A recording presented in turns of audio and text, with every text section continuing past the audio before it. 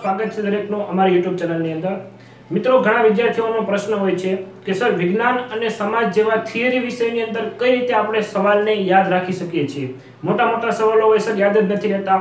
તો એની કોઈ રીત આપણે વાંચવાની કે જેનાથી આપણે એ ટ્રીકને ફોલો કરીને આપણે કોઈ પણ સવાલ મોટો આપેલો હોય તો યાદ રાખી શકીએ. તો આજના વિડીયોની અંદર એ જ વાંચવાની ટ્રીક વિશે આપણે વાત કરવાના છીએ, જેનાથી તમે વિજ્ઞાન અને સમાજનો કોઈ પણ સવાલ યાદ રાખી શકો છો એકદમ સરળતાથી. તો વીડિયો અંત સુધી જોજો અને ચેનલ પર નવા હોય તો ચેનલને સબસ્ક્રાઇબ કરી દેજો આવા બીજા અન્ય સરસ મજાના વીડિયો જોવા માટે. અને તમે અમારા ટેલિગ્રામ અને વોટ્સએપ ગ્રુપની અંદર પણ જોઈન થઈ શકો છો. તો આગળ વધીએ. વાત કરીએ સૌપ્રથમ વિજ્ઞાન વિશેની. કે વિજ્ઞાનની અંદર કોઈ પણ સવાલ આપેલો હોય તમને, તો તમે એને કઈ રીતે યાદ રાખી શકો છો? હવે વિજ્ઞાન વિષય એવો છે કે એને તમારે સમજવો પડે પહેલા. કે ખરેખર કોઈ પણ સવાલ તમને આપ્યો છે તો એ કેવા શું માગે છે? અહીંયા તમને સવાલ આપ્યો છે પાચન તંત્ર. તો હમણાં આપણે જોઈએ કે એની અંદર તમે કઈ રીતે યાદ રાખી અને સરળતાથી એને સમજી શકો છો. તો હમણાં એને અહીંયા અહીંયા તમને યાદ રહી જશે આ સવાલ. એના માટે તમારા વિડીયોને અંત સુધી જોવો પડશે. હવે હું તમને પહેલા ટ્રીક બતાવું કે વિજ્ઞાનની અંદર કોઈ પણ સવાલ આપેલો હોય ને, તો તમારે સૌપ્રથમ એ સવાલને સમજવાનો અને યાદ રાખવાનો. કે આ સવાલ ક્યાંથી ખરેખર શરૂ થયો છે? આ સવાલની વાત ક્યાંથી કરવામાં આવી છે? અને કોઈ પણ સવાલ આપેલો હોય તો એ કઈ વાતથી પૂરો થાય છે? સમાજની અંદર પણ સેમ ટુ સેમ સમાજની અંદર કોઈ ટૂંકનોંધ આપેલી હોય તો ટૂંકનોંધ ક્યાંથી ખરેખર શરૂ થાય છે અને ખરેખર ક્યાં પૂરી થાય છે પહેલાં તો એ તમને યાદ હોવું જોઈએ. તમારે પહેલાં એ યાદ રાખવાનું, કોઈ પણ સવાલમાં, કે શરૂઆત ક્યાંથી થઈ છે, પહેલો મુદ્દો કયો લખવાનો છે અને છેલ્લો મુદ્દો કયો લખવાનો છે. પછી શું કરવાનું છે? તો કે મુદ્દા હોય તમારે સમજતું જવાનું કે આ ઘટના પછી આ ઘટના બની છે, આ ઘટના બની, પછી આ ઘટના બનેલી છે. આડાવડી ઘટના પણ તમારે લખવાની નથી. અને કોઈ પણ સવાલને તમે વાર્તા અથવા તો કોઈ કાલ્પનિક ઘટના સ્વરૂપે એને યાદ રાખી શકો છો અથવા સમજી શકો છો. કોઈ પણ સવાલ આપેલો હોય તમારે એને તમારા મગજની અંદર કાલ્પનિક ચિત્ર એવું ઊભું કરવાનું કે આવી ઘટના બની છે એટલે આવું બધું થયેલું છે. એમ કરીને વાર્તાના સ્વરૂપમાં સવાલને બનાવી નાખવાનો, પછી તમારે વાંચવાનો. એટલે તમને સરળતાથી ઝડપથી યાદ રહી જશે. હમણાં આપણે જોઈએ પાચન તંત્રવાળો જે સવાલ છે એને આપણે કઈ રીતે યાદ રાખી શકીએ છીએ? અને ખાસ એક બીજી મહત્વની બાબત ધ્યાન રાખવા જેવી કઈ, તો કે વિજ્ઞાન વિષયની અંદર તમે જ્યારે પણ પેપર લખતા હોય, ત્યારે વિજ્ઞાનના શબ્દો આવવા જોઈએ. એની અંદર આપણે રોજિંદા જીવનમાં જે શબ્દો બોલતા હોય એ શબ્દો આવવા જોઈએ નહીં. વિજ્ઞાનની ભાષામાં એ શબ્દને શું બોલાય છે? એવા શબ્દોનો આપણે ઉપયોગ કરવો પડે. એટલે વિજ્ઞાનનું પેપર લખતા હોય, ત્યારે વિજ્ઞાનિક ભાષાના શબ્દોનો ઉપયોગ કરવો. જેનાથી પેપર ચેક કરતો હોય એ વ્યક્તિને ખબર પડે કે જે કાંઈ પણ પેપર લખેલું છે એ પેપરની અંદર એને સારું એવું લખનારને નોલેજ છે. એવું એને પેપર ચેક કરનારને ખબર પડે. એટલે તમને જ્યાં માર્ક્સ તમારા આવતા હોય, ત્યાં સંપૂર્ણ માર્ક્સ તમને મળે. હવે તમે જ્યાં રોજિંદા જીવનના શબ્દો વાપરા હોય, ત્યાં તમારી ઇમ્પ્રેશન ખરાબ પડે. ત્યાંથી ખબર પડી જાય કે આ વિષયનું નોલેજ કેવું છે? ઓછું છે. એટલે વિજ્ઞાનનો વિષય લખતા હોય તો વિજ્ઞાનના શબ્દોનો જ સવાલની અંદર ઉપયોગ કરવાનો. જ્યાં તમારે રોજિંદા જીવનમાં તમે બોલતા હોય એવા શબ્દો વાપરવાના નહીં. અને સમાજની અંદર સમાજના શબ્દો આવતા હોય જેથી એ તમે વાપરી શકો છો, રોજિંદા જીવનમાં થોડા આવતા હોય, એ શબ્દો તમે વાપરી શકો છો. એટલે ખાસ એક આ બાબતનું તમારે ખાસ ધ્યાન રાખવું. અને મેં તમને કીધું રીતે વિજ્ઞાનની અંદર પહેલો મુદ્દો ક્યાંથી સવાલ શરૂ થયેલો છે? ખરેખર સવાલ શું કહેવા માગે છે? કયો સવાલ તમને આની અંદર કોઈ પણ સવાલ આપેલો છે, તો એ સવાલ કોના આધારે લખવાનો છે એ તમારે પહેલા સવાલને સમજવાનો. ત્યારબાદ પહેલો મુદ્દો યાદ રાખવાનો. પહેલા મુદ્દાની ઘટના પછી પછી એની પછીની કઈ ઘટના બને છે યાદ રાખવાની. એ રીતે છેલ્લો મુદ્દો ક્યાં સવાલ પૂર્ણ થાય છે એ તમારે યાદ રાખવાનો છે. અને બીજી એક મહત્વપૂર્ણ બાબત કે કોઈ પણ સવાલને તમારે લખીને યાદ રાખવાનો છે. મોઢે બોલીને યાદ રાખવાનું નથી, કારણ કે પરીક્ષાની અંદર તમારે બોલવાનું નથી, પરીક્ષાની અંદર તમારે લખવાનું છે. આપણા મગજને યાદ રહી ગયો છે સવાલ, પરંતુ આપણે આપણા હાથને પણ સવાલ યાદ રાખવાનો છે. આપણે જ્યારે સવાલ વાંચી લઈએ, મોઢે કહી લઈએ, પછી મોઢે બોલીએ છીએ. પરંતુ મોઢે બોલીએ છીએ અને લખીએ છીએ એમાં ઘણો બધો ફરક આવે. લખતા હોય તે વાર લાગે. બોલવામાં ફટાફટ બોલાઈ જાય. અને આ બધું બાબત તમારે ખાસ ધ્યાન રાખવી પડે. એટલે જ્યારે પણ સવાલ તમે વાંચો છો, વચાઈ જાય, પછી મોઢે બોલો છો, વાત સારી કહેવાય. પરંતુ મોઢે બોલીને પછી એને મોઢે લખવાનો પણ છે. કારણ કે આપણા હાથને પણ યાદ રહેવું જોઈએ કે આ સવાલ કઈ રીતના, ક્યાંથી ક્યાં કયો મુદ્દો લખવાનો છે, ક્યાં મુદ્દો પાડવાનો છે. સમાજનો હોય તો સળંગ લખવાનું નથી, મુદ્દાવાજ લખવાનો કોઈ પણ સવાલ હોય, એને મુદ્દાવાજ લખવાના છે. એવું આપણે હાથની પણ પ્રેક્ટિસ પાડવી પડે. જે રીતે આપણે મગજને યાદ રાખ, મગજ દ્વારા યાદ રાખીએ છીએ, તે રીતે હાથને પણ પ્રેક્ટિસ પાડવી પડે કે આ મુદ્દા પછી આ મુદ્દો આવે, મુદ્દો પાડવાનો છે એ રીતે. ક્લિયર હવે આપણે સમજીએ, આનું એક એક્ઝામ્પલ જોઈએ લાઈવ એક્ઝામ્પલ લાઈવ ડેમો કે મનુષ્યમાં પાચન તંત્ર સવાલ તમને આપેલો છે. ઓકે વિદ્યાર્થી મિત્રો?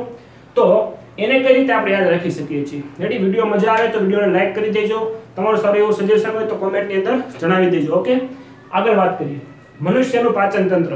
એટલે આપણે જે કાંઈ ખોરાક ખાઈએ છીએ, એનું કઈ રીતે પાચન થાય છે એ સવાલ આ છે. રેડી પહેલો ટોપિક મુખ. મુખ દ્વારા આપણે ખોરાકને ગ્રહણ કરીએ છીએ. એટલે તમે યાદ રાખવાનું શું? તો કે પાચન તંત્રના સવાલમાં પહેલો મુદ્દો મુખનો લખવાનો છે. મુખની અંદર દાંત આવે. પછી શું આવે? તો કે લાલ રસ આવે. રેડી અને જીભ આવે આ ત્રણ વસ્તુ આવે, તો મેં તેને પહેલા લખી નાખ્યું છું તમે આ રીતે પણ શોર્ટમાં લખી શકો છો જ્યારે પણ વાંચવા બેસો ત્યારે દાંત, લાલ રસ અને જીભ હવે દાંતનું કાર્ય લખવાનું, કે દાંતનું કાર્ય ખરેખર છે શું? દાંત એટલે શું? તો કે નાના ટુકડાઓમાં વિભાજન કરે. કોનું? તો કે ખોરાકનું. ખોરાકનું નાના નાના ટુકડાઓમાં વિભાજન કરે છે. કોણ? તો કે દાંત. પછી લાલ રસ. તો લાલ રસ ક્યાંથી ઉત્પન્ન થાય છે? તો કે લાલ રસ લાલ ગ્રંથિઓ દ્વારા ઉત્પન્ન થાય છે. અને લાલ ગ્રંથિઓની અંદર લાલ રસ ઉત્પન્ન થયો છે તો લાલ રસની અંદર શું હોય તો કે એમાઇલેજ નામનો ઉત્સેચક હોય છે. ઉત્સેચક એટલે પાચન ક્રિયામાં મદદ કરે એવો પદાર્થ, એવું તત્વ એટલે શું? એમાઇલેજ નામનો ઉત્સેચક. કોની અંદર હોય તો કે લાલ રસની અંદર? લાલ રસ ક્યાંથી ઉત્પન્ન થાય? તો કે લાલ ગ્રંથિ દ્વારા.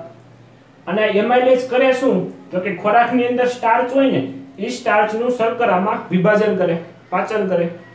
પેલું કામ થઈ ગયું. યાદ રાખો ને, એક માર્ક્સને પૂછાય કે લાલ રસની અંદર કયો ઉત્સેચક આવેલો હોય તો કે એમાઇલેજ. એમાઇલેજ કરે શું? તો કે સ્ટાર્ચનું શર્કરામાં રૂપાંતર. ત્યારબાદ જીભ.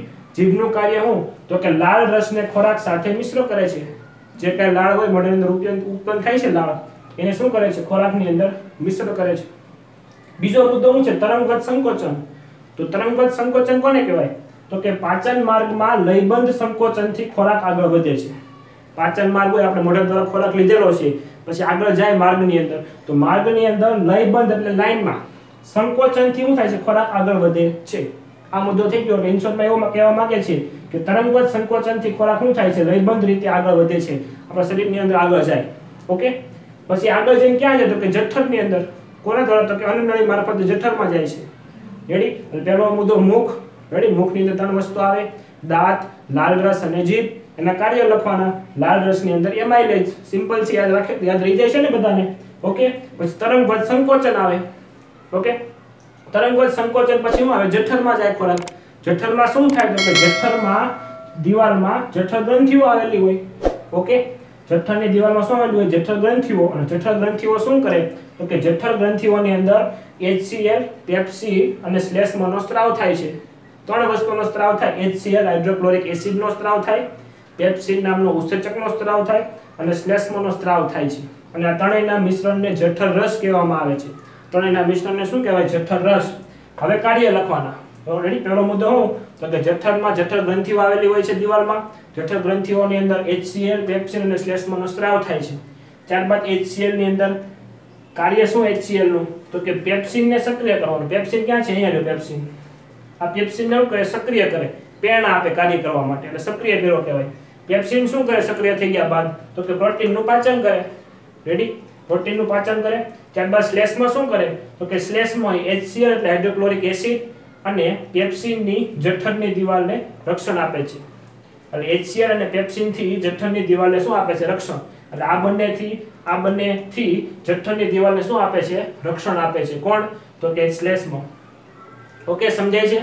તો બસ પેલો મુદ્દો મુખ પછી મુખની અંદર પ્રકારો લખવાના ત્યારબાદ તરંગવત સંકોચન, જઠર, જઠરની અંદર જઠર ગ્રંથિઓ, ત્રણ વસ્તુ આવે HCl હાઇડ્રોક્લોરિક એસિડ પેપ્સિન અને શ્લેષ્મ. પેપ્સિનનું કાર્ય પ્રોટીનનું પાચન હાઇડ્રોક્લોરિક એસિડ ને પેપ્સિનને સક્રિય કરવાનું કાર્ય અને શ્લેષ્મનું તો કે પેપ્સિન અને HCl એટલે કે હાઇડ્રોક્લોરિક એસિડની એસિડથી જઠરની દિવાલને રક્ષણ આપવાનું. ત્યારબાદ ખોરાકની જઠર વાળવા દ્વારા નાના આંતરડામાં પ્રવેશે. અને જઠરમાંથી ક્યાં આવીએ એવો નાના આંતરડાની અંદર. નાના તળામાં શું થાય? તો કે નાનો અતડું એ લાંબો અને ગૂંચળામય ભાગ છે. પાચન ક્રિયાનો લાંબમ લાંબો અને ગૂંચળામય ભાગ છે. આવું શોર્ટમાં તમે લખી યાદ રાખી શકો. ત્યારબાદ એની અંદર કાર્બોદિત ચરબી અને પ્રોટીનનું પૂર્ણ પાચન થાય છે. તને ત્રણ વસ્તુનું શું થાય છે? પૂર્ણ પાચન થાય છે. ત્યારબાદ યકૃત અને સાદું પિંડ. આ બે વસ્તુ ક્યાં આવેલી હોય? નાના આંતરડાની અંદર આવેલું હોય. આ જે અધૂરો છે. આગળ આવે છે. પરંતુ આમાં તમને બીજી વસ્તુ સમજાવવા માટે અહીં લખેલો નથી. ઇન્શોર્ટમાં તમને અહીંયા સુધી સવાલ યાદ રહી ગયો હશે. હવે તમારે પ્રેક્ટિસ શું કરવાની? એની પ્રેક્ટિસ કરવાની કે અહીંથી આગળ કઈ રીતે સવાલ યાદ રાખી શકું? થોડોક જ બે મુદ્દાની પછીના છે, ત્રણ મુદ્દા. યકૃતની અંદર શું આવેલું હોય? પિત્ત રસ. સાદા પિંડની અંદર સાદું રસનો સ્ત્રાવ થાય છે. યકૃતની અંદર પિત્ત સારો હોય ને, એ ચરબીના મોટા ગોલકોને નાના નાના ગોલકોમાં વિભાજન કરે છે. પિત્ત સારો શું કરે? તો કે ચરબીના મોટા ગોલકોને નાના ગોલકોની અંદર વિભાજન કરે છે. અને આ ક્રિયાને તેલોદીકરણ ક્રિયા કહેવામાં આવે છે. આ બધા જ મુદ્દાઓ ચોપડીમાં લખેલા સરસ મજાના. રેડી પણ સવાલને તમે આ રીતે રિપ્રેઝન્ટ કરી શકો છો અને પછી સમજી શકો છો. ઇનશોર્ટમાં કોઈ પણ સવાલને પહેલાથી યાદ રાખવાનો કે આ પૂર્ણ થાય છે અને વચ્ચે કઈ કઈ વસ્તુ આવે છે, એ તમારે યાદ રાખવાનું હોય.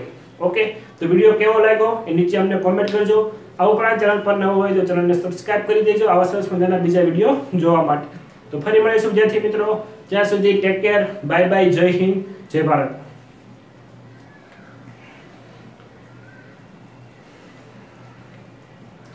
અને બીજી એક ખાસ વાત વિદ્યાર્થી મિત્રો, કે ગણિત, વિજ્ઞાન, અંગ્રેજી અને સમાજના આઈએમપી ટોપિકોના વીડિયો અમારી ચેનલ ઉપર મૂકવામાં આવેલા છે. તમે એને ન જોયા હોય તો પણ તમે ચેનલ પર જઈને અથવા તો અહીંયા ઉપર આઈ બટનમાંથી તમને લિંક મળી જશે. ત્યાંથી તમે સરસ મજાના આઈએમપી ટોપિક વિશે જે વાત કરેલી છે તેને તમે જોઈ શકો છો અને આઈએમપી ટોપિકને તમે તમારી રીતે તમારા બુકની અંદર ટીક કરી શકો છો.